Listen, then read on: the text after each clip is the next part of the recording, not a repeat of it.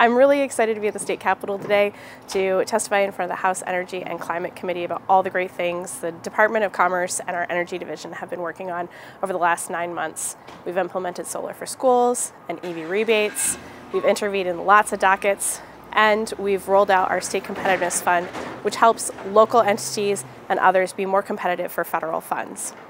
Look, really looking forward to telling our story.